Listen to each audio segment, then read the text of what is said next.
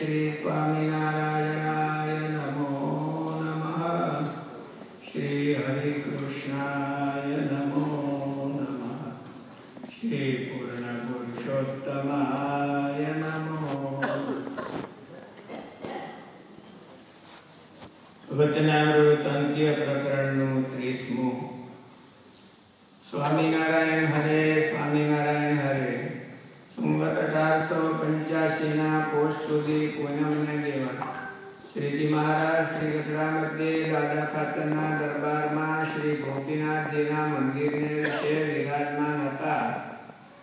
સર્વ શ્વેત વસ્ત્ર ધારણ કર્યા હતા અને પોતાના મુખારવિંદની આગળ મુનિ તથા દેશ દેશના હરિભક્તની સભા ભરાઈને બેઠી હતી.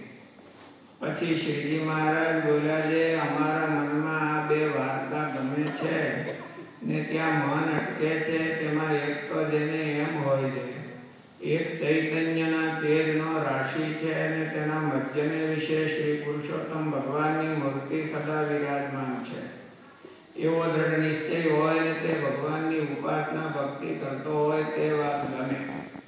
પણ કેવળ ચૈતન્ય તેજને માનતો હોય ને તેની ઉપાસના કરતો હોય ને ભગવાનને સદા સાકાર ન માનતો હોય ને તેની ઉપાસના ન કરતો હોય તો તે ન ગમે.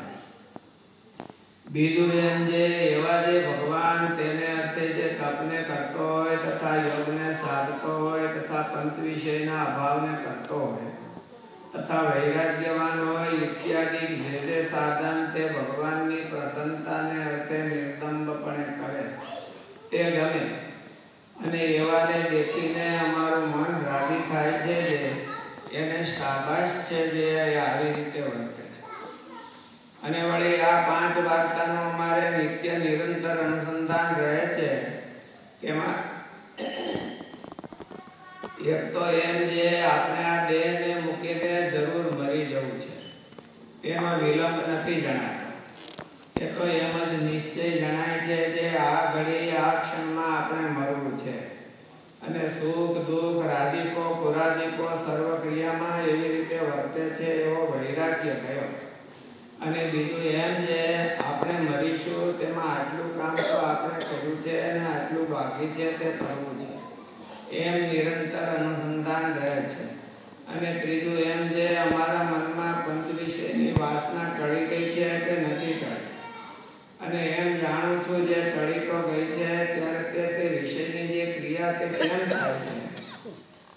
ત્યારે ના ટળી હોય એમ અણવિશ્વાસનું નિરંતર અનુસંધાન રહે છે.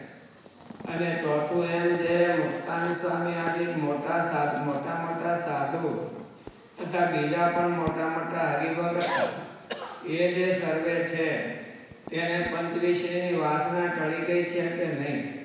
અને આની વાસના ટળી છે અને આને આની નથી ટળી એમ સર્વેના હૃદય સામે જોયા કરવું એમ અનુસંધાન રહે અને પાંચમું એમ જે જો હું મારા મનને ઉદાસી કરવા લાગુ તો કોણ જાણે ક્યાં જતું રહે?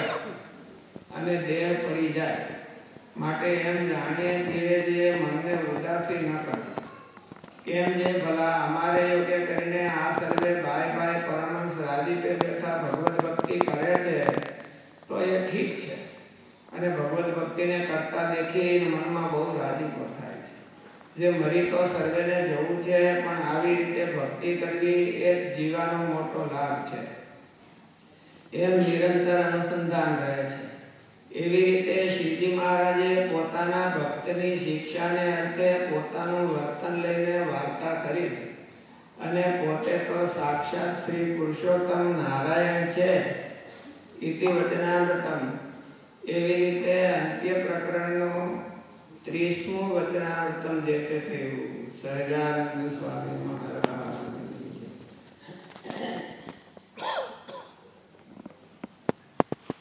આ વચનામૃતના શ્રીજી મહારાજે વાત કરી કે અમારા મનમાં આ બે વાત છે, એ બહુ ગમે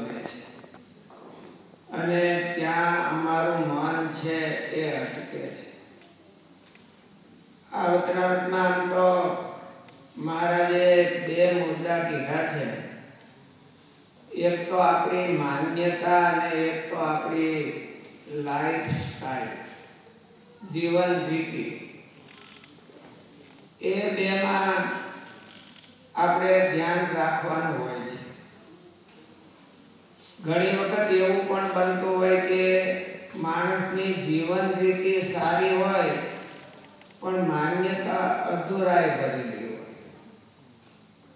અને ક્યારેક માન્યતાઓ બહુ સારી હોય, પણ જીવનનું કંઈ ઠેકાણું ન હોય. મહારાજના ધામમાં જવું હોય, તો આ બે વાતનું અનુસંધાન રાખવું રાખવું ગુણાતીતાનંદ સ્વામીની વાતોમાં એ બહુ સરસ વાત આવે છે. કે સરકારીકો છે, એ અને સુખદેવજી મહારાજ એ બંનેની કમ્પેરિઝન કરી છે. સંકાદિકો તો બધાના પૂર્વજો છે. અને સાધુતાની કળામાં બહુ એક્સપર્ટ છે. એના જેવી સાધુતા જગતમાં બીજા કોઈને કહેવાય. નહીં એવા છે. અને સુખદેવજી છે એની પછી ઠેક દ્વાપર અને કળીની સંધિમાં એમનું જીવન છે. તો પણ અંતે પ્રાપ્તિ વધારે કોને થઈ? તો કે સુખદેવજીને થઈ. એ નાના છે પછી પાછળ ગયા અને સરકારિકોની આ બ્રહ્માંડની સાથે ઉત્પત્તિ એટલે થાય છે. દર બ્રહ્માંડની ઉત્પત્તિ વખતે સંકાદિકોને પાછો એવું શા માટે થયો? તો કે માન્યતાને આધારે. સંકાદિકોને વિરાટ નારાયણની ઉપાસના છે. અને સુખદેવજીને શ્રી કૃષ્ણ ભગવાનની ઉપાસના છે. એટલે માન્યતા પણ ઘણી વખત આચરણ આપણું પૂરું હોય. આચરણ એટલે આપણે મહારાજ કીધા એ વર્તમાન છે એ પૂરા પાડતા હોઈએ. પણ મહારાજને સમજવામાં પણ જો કાંઈક ખામી રહી જાય, તો પણ થોડું ધામથી છેડું રહી અને સમજણમાં બહુ આપણે હોશિયાર હોઈએ પણ આપણા વર્તમાન ધર્મનો કાંઈ ઠેકાણો ના હોય, તો પણ ભગવાનના ધામથી થોડુંક છે એટલે મહારાજે આ વચનામૃતમાં બે વાત કરી મુદ્દો બહુ ઝીણો છે એટલે જલ્દી સમજાય નહીં એવો. એટલે મહારાજે વાત કરી કે અમારું મન આ બે વાતમાં અટકે છે અમને બે વાત બહુ ગમે છે. કે એક તો મોટો તેજનો રાશિ હોય અને એના મધ્યને વિશે ભગવાનની મૂર્તિ, સ્વામિનારાયણ ભગવાનની મૂર્તિ વિરાજમાન છે. એવી રીતે ભગવાનની સાકાર, ભગવાનની ઉપાસના કરવી ખૂબ ગમે છે. અને એ ભગવાનને રાજી કરવા માટે કંઈક કરવું એ પણ બહુ ગમે છે વહેલા ભક્તો માણસો કરતા ઘણું હોય છે પણ રાજી કરવા નહીં પોતે રાજી ખાવા કે આપણે આ બહુ કર્યું આ. ભગવાનને રાજી કરવા માટે કરવું એને મહારાજે ઉપાસના કીધી છે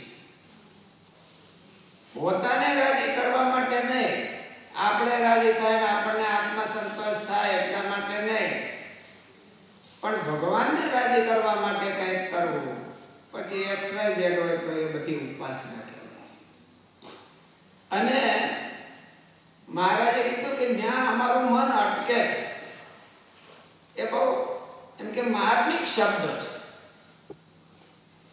એટલે એનો અર્થ એ થાય કે એનાથી અમારે વધારે પણ કાંઈ જોતું નથી અને એનાથી ઓછું પણ નહીં તો એને ઉપાસના કહેવાય આપણને સ્વામિનારાયણ ભગવાન મળ્યા તો હવે વધુ પણ કઈ ઈચ્છા ન હોવી જોઈએ અને એનાથી કમ પણ ન હોવી રામાયણમાં બહુ સરસ દાખલો આપવામાં આવે છે કે પાર્વતીજી શંકર ભગવાનને મેળવવા માટે તપ કરવા માટે ગયા હિમાલયની અંદર એ તપ કરતા હતા. અને તપ કરતા કરતા શંકર ભગવાન એના પર રાજી થઈ ગયા. શંકર ભગવાનને વરવા માટે તપ કરતા હતા. એટલે શંકર ભગવાને વિચાર કર્યો કે એની પરીક્ષા લે. પાર્વતીજીની પરીક્ષા લે. એટલે સપ્તર્ષિઓને પરીક્ષા લેવા માટે પાર્વતીજીની પરીક્ષા લેવા માટે સાતે ઋષિઓ જ્યાં પાર્વતીજી તપ કરે છે, ત્યાં આવ્યા. સતી બધાને પગે લાગ્યા આશીર્વાદ માંગ્યા. ઋષિઓએ પૂછ્યું કે, દીકરી, તું કોણ છો? એટલે પાર્વતીજીએ પોતાનો પરિચય આપ્યો કે, હું હિમાલયની દીકરી છું. અને શંકર ભગવાનને વરવા માટે છું એટલે ઋષિઓ બધા ખડખડાટ હસવા માંડ્યા. એટલે પાર્વતીજીને નવાઈ લાગી કે કેમ તમને કઈ એમાં ઓછું લાગે છે? તેને ભૂલ થતી હોય. ઋષિઓએ પૂછ્યું કે તને આ મૂર્તિ કોણે બતાવ્યા એટલે પાર્વતીજી કીધું મારા ગુરુ નારદજી છે એને બતાવ્યા. તો ઋષિઓ કે કઈ વાત થાય નારદજીને આવું બધું લાકડા કરું ઘણું બતાવ્યા કઈ વાંધો નહીં. હજી કઈ તમે લગ્ન નથી કરી લીધા? એટલે શંકર ભગવાન તો મસાણમાં રહે છે, હરફના શણગાર કરે છે, ભભૂતિ જોડે છે. અને તું હિમાલયના દીકરી એવા વરને વરવા કરતા તને એક બહુ સારા વર કરતા. અમે તો ત્રિલોકીમાં ફરીએ છીએ. એટલે ત્રિલોક સુંદર એક વાર છે. એના જેવો બીજો કોઈ વાર નથી. અને ભગવાન વિષ્ણુ અને વાત પણ સાચી. કે વિષ્ણુ ભગવાન છે, એની જેવું આ ત્રિલોકીમાં કોઈ કહેવાય નહીં. એટલે પાર્વતીજી ઘડી મૌન થઈ ગયા. અને એને કીધું કે તમે મને સારી સલાહ આપી પણ એ સલાહ ઘણી મને મોડી મળી. મને પહેલી વખત મળી હોત તો હું નક્કી કરી લે પણ હવે મેં નક્કી કરી લીધું છે. એટલે ભગવાન વિષ્ણુ, શંકર ભગવાન કરતા હારા છે તો પણ મારે ન કોટી જન્મ લગ लेकिन हमारी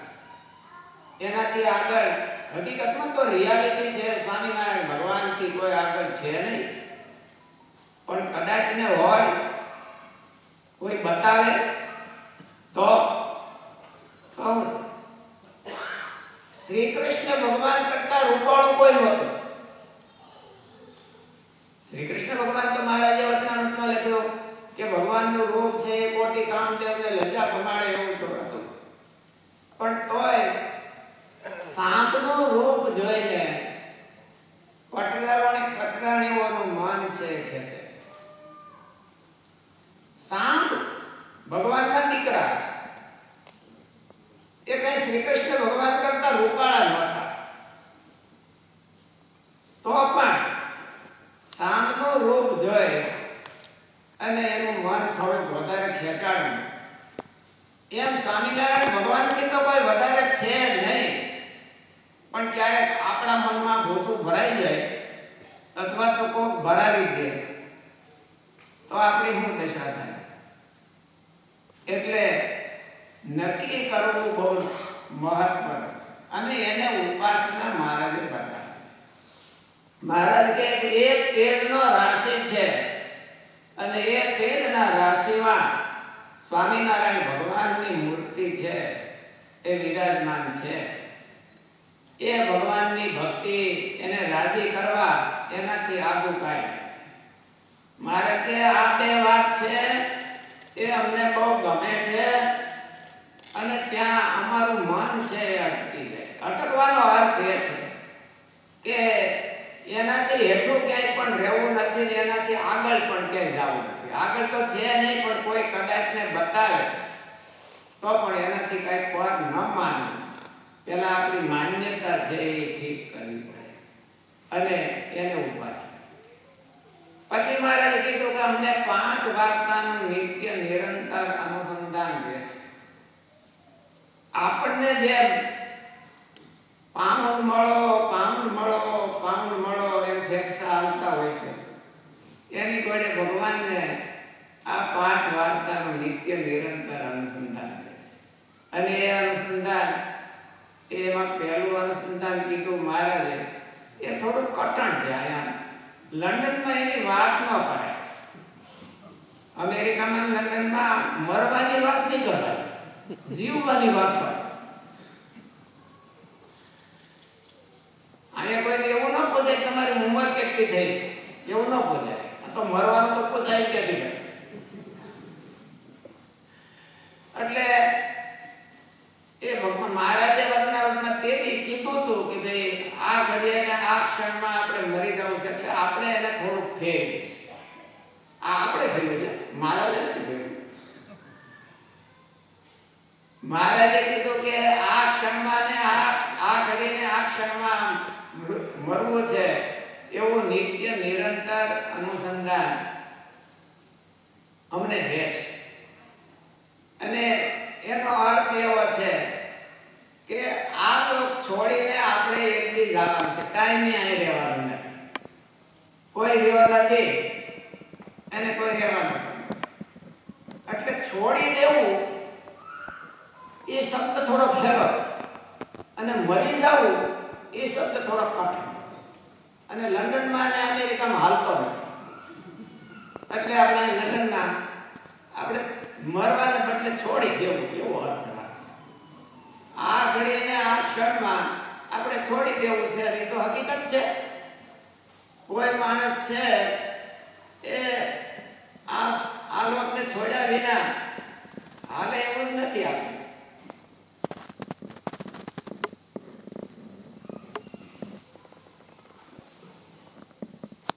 આ લોક ગમે એવા હોય, આપણે ભક્ત હોય કે સંપત્તિ વાળા હોય, ગમે તે હોય, પણ આ લોકમાંથી એક દિવસ જવાનું બધાએ અને જવાનું નક્કી કરે, એનું નામ જ વૈરાગ્ય. જવાનું નક્કી કરવું, એ જનક રાજાએ જવાનું નક્કી કર્યું હતું, એ પર્વતભાઈએ નક્કી કર્યું હતું. એ દાદા કાચરે નક્કી કર્યું તો કે આપણે અહીં ક્યાંય રહેવાના નથી. આ બહુ સારું છે, કોઈ અહીં રહેવાના નથી. અને કોઈ રહેવાનું નથી. એટલે જેથી તેથી આપણે એક દિવસ જવાનું.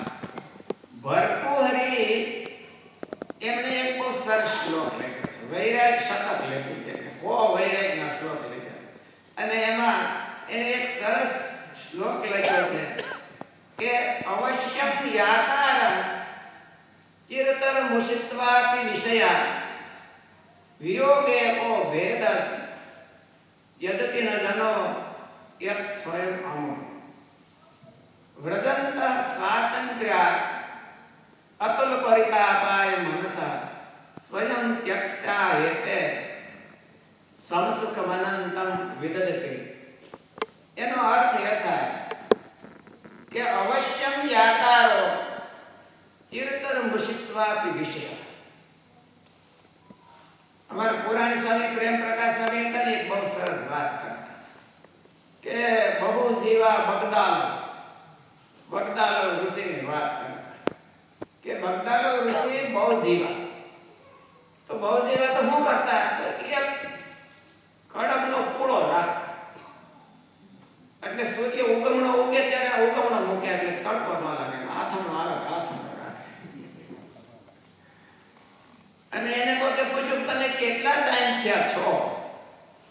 એટલે એને એવું કીધું કે એક રામા અવતાર જાય, ચાર યુગની ચોકડી હોય એક રામા અવતાર જાય એટલે છાતીમાંથી એક મવાળો તોડી નાખે.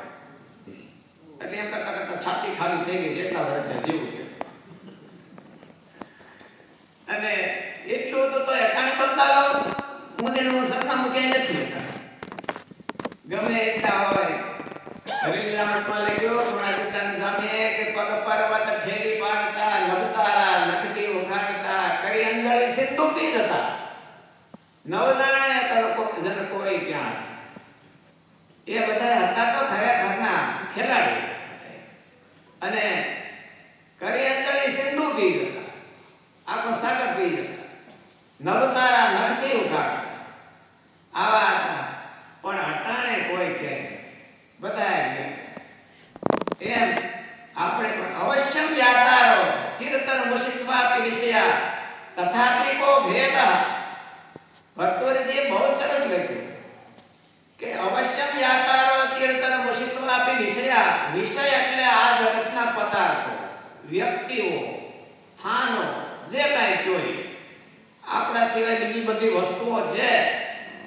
એ બધા સગા, સંબંધી, એ અવશ્યમ યાતા એક દી જાવ કાંઈ કાપ વેલા જાય, એની બની હાલ.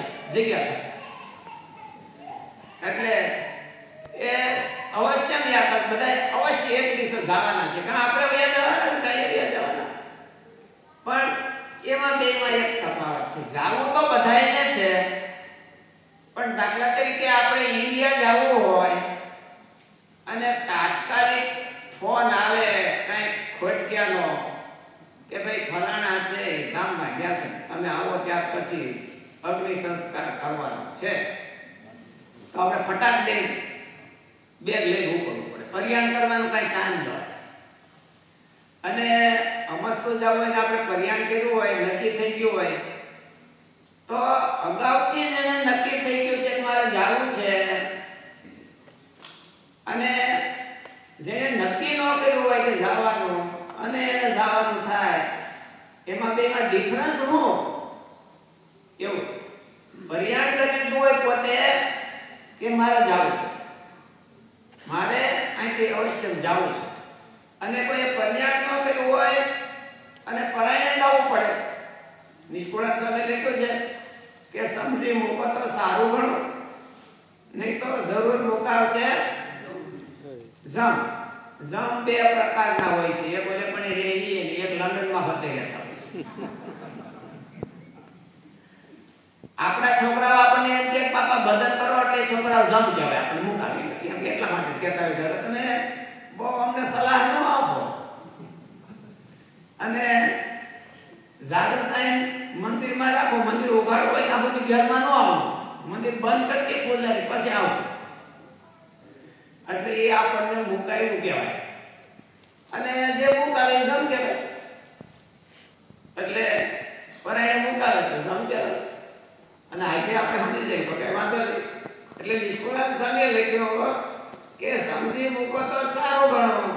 નકર જરૂર મુકાવશે. જમજી આપણી પાછળ જે જનરેશન શરૂ તૈયાર થતું હોય અને આપણને કહે કે હવે તમે કાંઈ ભજન કરો. અથવા તો કે હવે તમે કાંઈ તમારે કાંઈ કામકાજ કરવાની જરૂર નથી અને આપણને સાઈડમાં બિહારી દે. એટલે મોબાઈલ કહેવાય ને બીજું કાંઈ આ હારા લાગે એવા જમ કડવા લાગે એવા આ આ જમ મીઠા એટલે એ એમ કે. ઓલા જમ છે એ તો મીઠા ન હોય. એ તો કરે. અને મોકલાવી એટલે આ બેમાં અગાઉથી નક્કી કરે કે મારે જાવું છે. મારે મહારાજે એવું કીધું કે ભગવાનના ભક્ત છે એને તો મરવું તે મંગળ જાણે. મૃત્યુ છે એ એને ઉત્સવનો દિવસ છે. અને નક્કી કરે કે મારે આ દિવસે જાવું છે.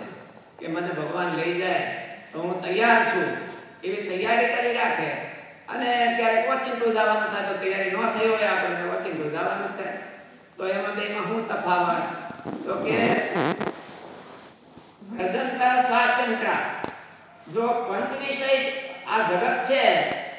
એ આપણેથી નોખું પડે આપણને જમ છે એ લેવા, વચિંતા લેવા આવે, તો એને અનંત જન્મ દુઃખ ભોગવવું પડે છે.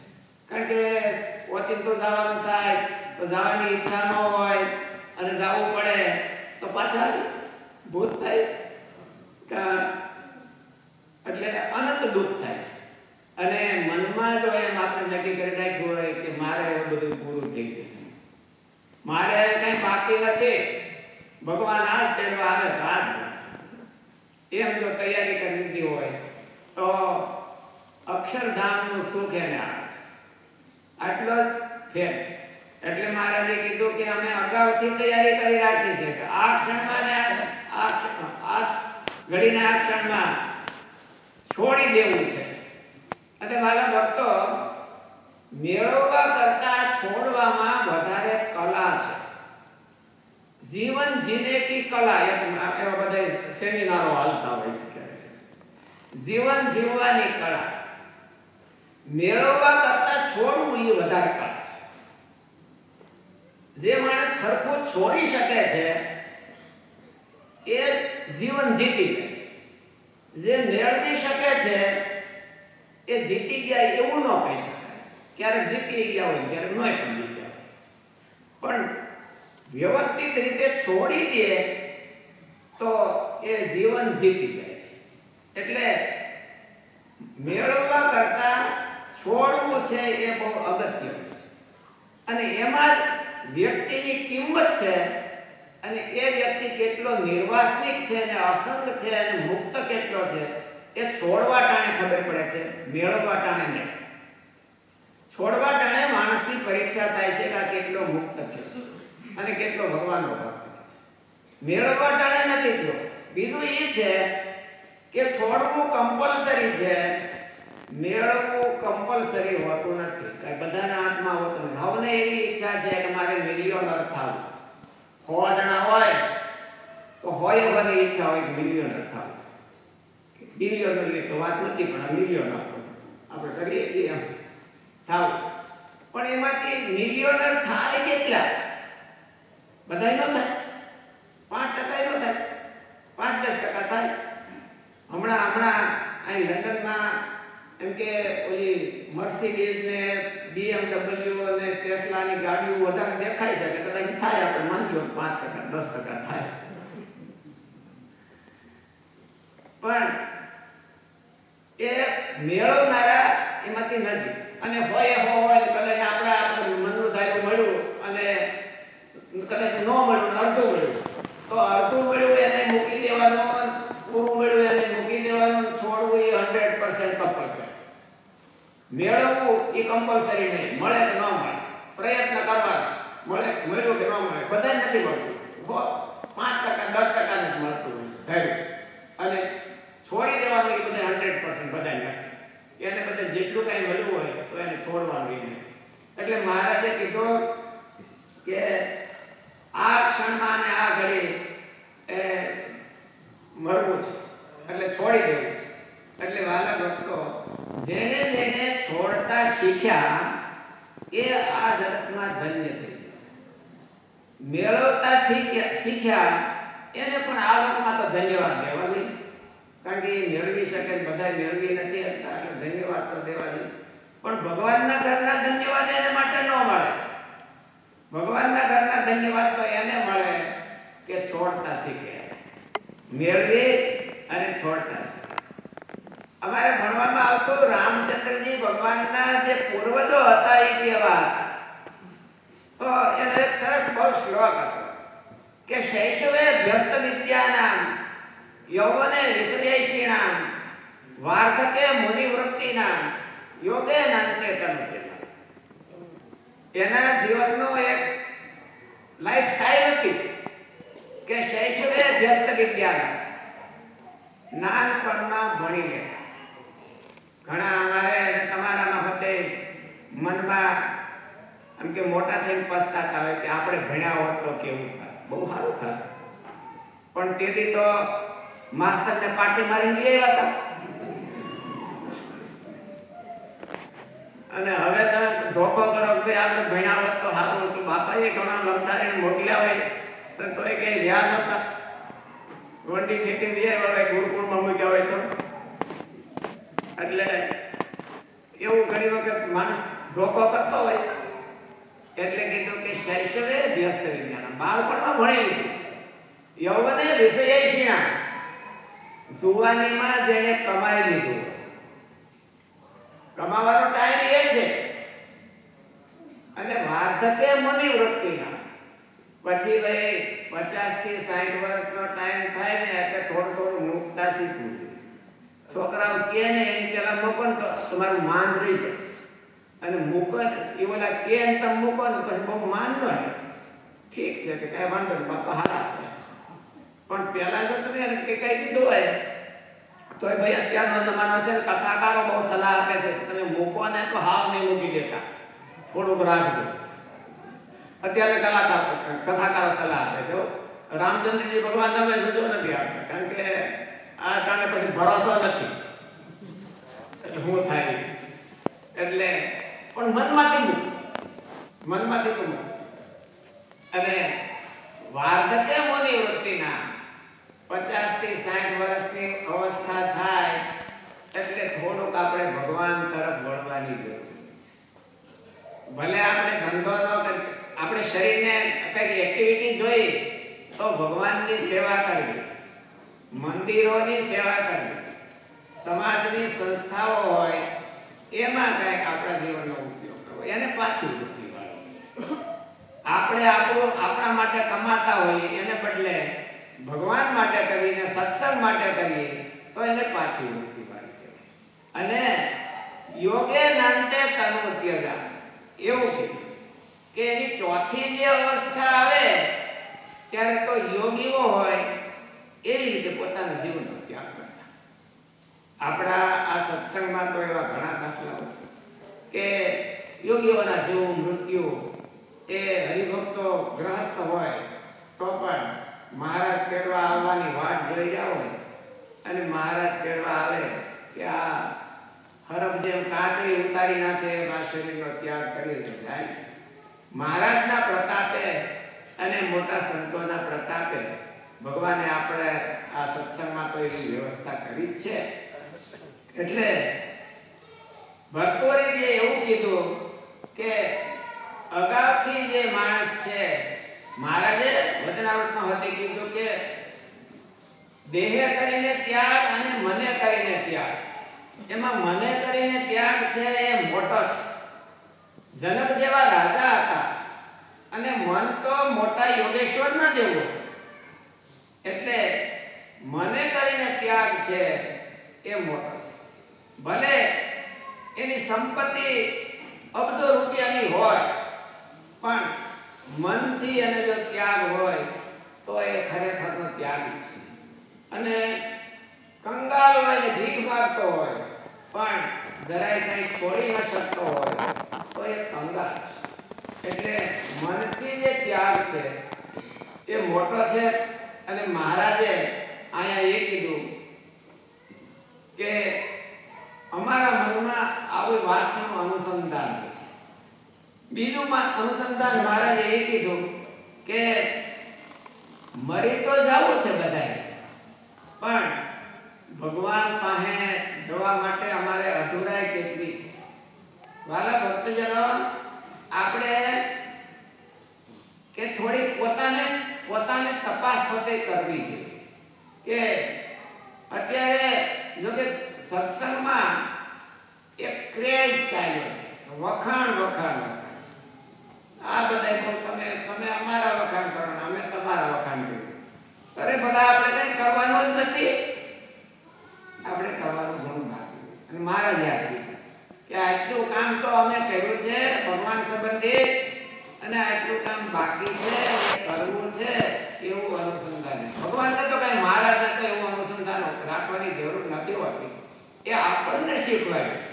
ભગવાને આપણને શીખવાડ્યું છે કે રોજ થોડોક સરવાળો કરવો જોઈએ કે આપણે કેટલું કામ કર્યું અને કેટલું કામ કર્યું પછી મહારાજે એવું કીધું કે એવું અનુ- અનુસંધાન છે કે બધાને સામું જોયા મહારાજની એ સ્થાન પ્રત્યેની એની જવાબદારી છે કે બધાને નિર્વાસની કરવા અને બધાને થોડા તપાસતા પણ રહેવા પડે. એટલે તો મહારાજને બધાની સામે જોયા. છતાંય આપણે હોતે કોઈ બીજાની સામે જોવું હોય તો કોઈ વધારે નિર્વાસનિક હોય એની સામું કે આ મારા નિર્વાસનિક થઈ ગયા છે મારે હજી બાકી છે તો એવી રીતે જોવું.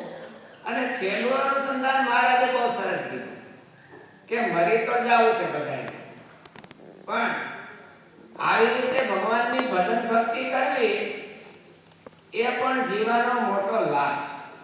અને એમાંય મહારાજે એવું કીધું કે ભલા અમારા યોગે કરીને આ બધા લાખો હરિભક્તો છે, એ ભજન ભક્તિ કરે છે, તો મનમાં એમ થાય છે બે દાડા વધારે બે દાડા વધારે જીવી અને આ ભજન ભક્તિ, આ બે કરીને જે ભજન ભક્તિ થાય, એનાથી મોટો લાભ બીજો કોઈ તો એક પ્રશ્ન થાય કે એક બાજુ મહારાજ મરવાનું કે છે અને એક બાજુ જીવવાનું કે છે, તો આપણે શું કરવું? જીવવાનું રાખશું. એક બાજુ, તો મરી મૃત્યુ હારો કે, છોડી દેવું હારો કે, પછી જીવવું હારું? કયું હારું બે હારું. એટલે જીવવું સારું છોડી દેવું હારું લાગતું નથી. બહુ સરસ વાલા ભક્તો. કે આને કે મહારાજે કીધું કે જીવવું ત્યારે હારું કે બીજાને માટે? જીવવું ત્યારે હારું કે સત્સંગને માટે? જીવવું ત્યારે હારું કે ભગવાન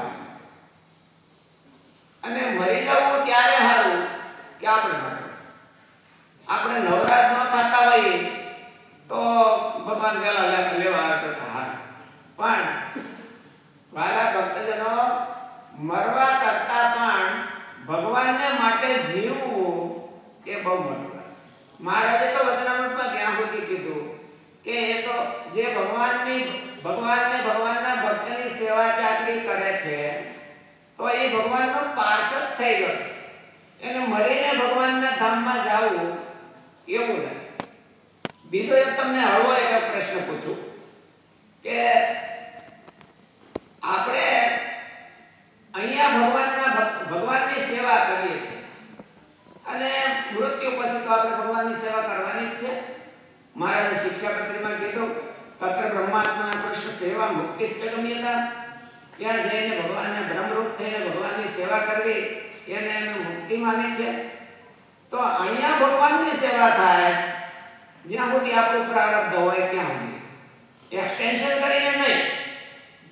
આપણું પ્રારબ્ધ હોય અને એ પ્રારબ્ધ એમ એ ટાઈમમાં આપણે ભગવાનની સેવા કરતા હોઈએ અને ભગવાનના ધામમાં જઈને સેવા કરતા હોઈએ. તો એ બે સેવા ઇક્વલ કહેવાય કે વધારે ઓછી કહેવાય? ભગવાનના ધામમાં સેવા કરવી એ શ્રેષ્ઠ કહેવાય કે અહીંયા કરવી એ શ્રેષ્ઠ કહેવાય? અહીંયા. તો સેવા કરી તો બે લાભ થાય કે આપણે છોકરા છોકરા બધે હટવાય ને સેવાય થાય. તમારી વાત સાચી છે. કે અહીંયા સેવા કરવી શ્રેષ્ઠ છે. પણ શા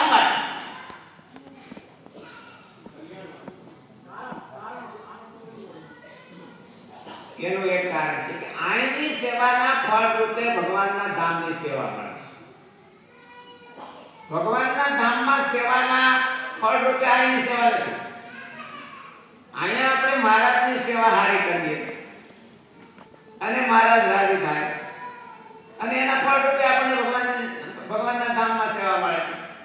એટલે કારણ રૂપ આ સેવા અહીંયા જે આપણે સેવા કરીએ છીએ મહારાજની, સત્સંગની, ભગવાનના ભગતની, અને એના ફળ રૂપે આપણને ભગવાનના ધામની, અક્ષરધામની સેવા મળે છે પણ પ્રારબ્ધની મર્યાદામાં રહીને પછી એને જો જીવવાની ઈચ્છા હોય તો તો એ સેવા સેવા રહેતી એટલે મહારાજે કીધું કે પાંચ કાળા વધારે જીવીએ અને અમારે યોગે કરીને આટલું ભજન થતું હોય અને ભગવાનની સેવા થતી હોય તો એવું જીવન છે એ ધન્ય છે.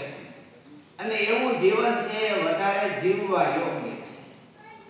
એવું જો જીવન હોય આપણું કે આ દેહ કરીને પણ ભગવાનની સેવા થતી હોય અને બીજા અનેક ભક્તોને પણ ભગવાનની સેવા આપણા થકી થતી હોય. તો એવું જીવન છે ધન્ય. છે અને એ એવું જીવન છે એ મરીને ભગવાનના ધામમાં જવા કરતા પણ શ્રેષ્ઠ છે. કારણ કે ભગવાનનો એમાં રાજીપો છે. ભગવાન પૃથ્વી ઉપર અહીંયા આયા આવે છે આ લોકમાં. એ અનેક જીવને મુક્તિ આપવા માટે આવે છે. ભગવાનના ધામમાં થી ભગવાન પૃથ્વી ઉપર અવતાર લે છે એ શા માટે લે છે? એટલા માટે લે છે અને જીવોને ભગવાનની સેવા ભાગવત ધર્મ શીખવાડવા માટે પૃથ્વી પર આવ્યા અને એ ભાગવત ધર્મ શીખવાડવા માટે અહીંયા આવે અને બીજાને ભાગવત ધર્મની પ્રેક્ટિસ આપે છે ને ટ્રેનિંગ આપે છે. અને એની એ ટ્રેનિંગ છે કે અહીંયા કોઈ એને અવેદીમાં બીજો કરતો હોય તો એને ભગવાનનું કામ કર્યું કહેવાય. અને ભગવાનનું કામ કરવું એ મરી જવા કરતા પણ શ્રેષ્ઠ છે. ભગવાનનું જો કામ થતું હોય, તો એ શ્રેષ્ઠ વસ્તુ છે. એટલે જીવવું ત્યારે શ્રેષ્ઠ ગણાય અને જીવવાની ઈચ્છા ત્યારે રાખવાની કે આપણાથી કાંઈક ભગવાનની સેવા થતી આપણાથી કાંઈક ભગવાન, સત્સંગની અસાધારણ સેવા થતી હોય. કોઈ ભગવાનના ભક્તની અસાધારણ સેવા થતી હોય, તો એ સેવા ભગવાનના ધામમાં સેવા થાય, એના કરતાં પણ શ્રેષ્ઠ સેવા ગણાય છે. એટલા માટે ગણાય છે કે એ સેવાથી ભગવાનના ધામની સેવાની પ્રાપ્તિ થાય છે. ભગવાનના ધામમાં બધા સેવા કરે, એનાથી આ સેવાની પ્રાપ્તિ નથી થતી. આંબો મોટો કહેવાય કે કેરી મોટી કહેવાય? આંબો મોટો કહેવાય, કારણ કે એમાંથી કેરી આવે જ રાખે. એમ. આ લોકની સેવા એવી છે કે એમાંથી ઓલા ફળ આવે છે. જે ભગવાનના ધામમાં સેવા કરવાનું ફળ છે, એ ફળ અહીંની સેવાથી આવે છે. જો આપણે અંતરની પ્રમાણિકતાથી અને મહારાજને રાજી કરવા માટે માટે મહારાજે શરૂઆતના વચનામૃતમાં શરૂઆતના ભાગમાં એવું કીધું કે અમને આ બે વાત બહુ ગમે છે, એમાં એક તો એક તો ભગવાન છે, એ સાકાર છે અને એવા એ ભગવાન એને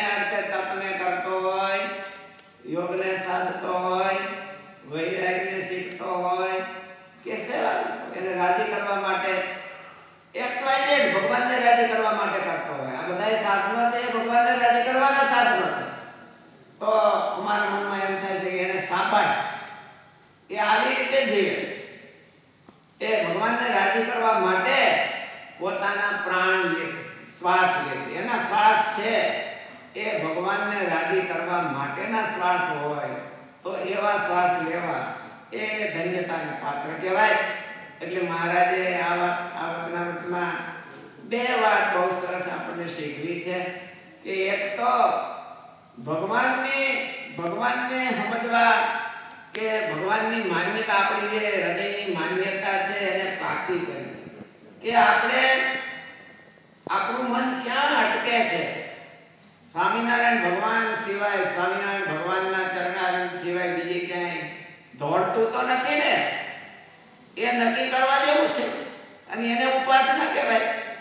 અને આપણી લાઈફ છે એ ક્યાં અટકે છે? આપણી જીવન શૈલી છે એ ક્યાં અટકે છે? એમાં ક્યાંય અટકાવ હોય તો આ જીવતા છે ત્યાં ક્યાં થાય. આપણે જ્યારે મૃત્યુ સમય આવે અને છેલ્લો શ્વાસ લેવાય, પછી લોક થઈ જાય. પછી એમાં કઈ ચેન્જ ન થાય. પછી ભગવાન પાસે જે હિસાબ હોય એ જ કરવાનો. કે આટલું એટલું છે જમાન અહીંયા કાંઈ ચેન્જ કરવો હોય તો શક્ય છે. અહીંયા જિંદગીનો ચેન્જ થઈ જાય. અહીંની આપણી એક ઘડી હોય, મૃત્યુ સમયની છેલ્લી ઘડી હોય, અને છેલ્લી ઘડીમાં જો મહારાજથી ભગવાનમાં મન લાગી ગયું, તો જન્મો જન્મનું કામ પતી ગયું. આ મનુષ્ય જન્મના જે શ્વાસ છે, એ અતિ કિંમતી છે. અને એમાં છેલ્લી ઉંમરના શ્વાસ છે, એ પણ એ તો એના કરતા વધારે કિંમતી છે. કારણ કે ત્યારે કાંઈ ન થયું હોય તો પણ એ છેલ્લી ઉંમરમાં કરી લેવાનો ચાન્સ ભગવાન અને છેલ્લો શ્વાસ જ્યારે પૂરો થાય, ત્યાર પછી ભગત હોય કે અભગત હોય, ભગવાન લોક કરી પછી કઈ ફેરફાર કરવા દે નહીં, પછી આપણને હાથ બહુની હૂંચતી હોય.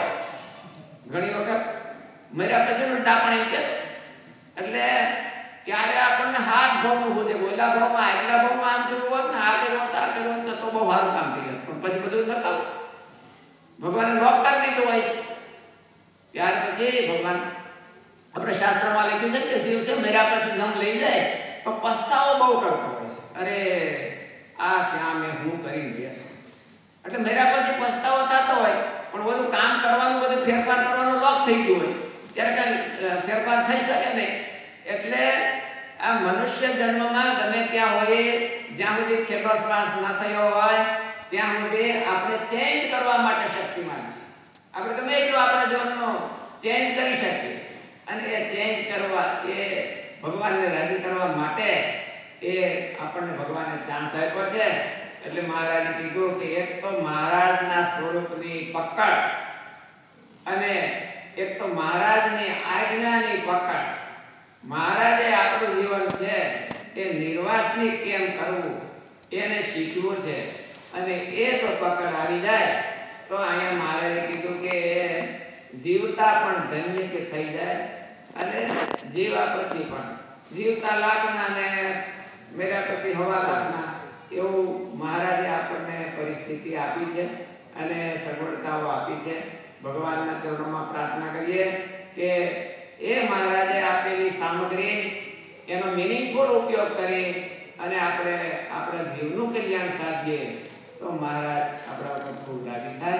સહજાનંદ સ્વામી મહારાજ.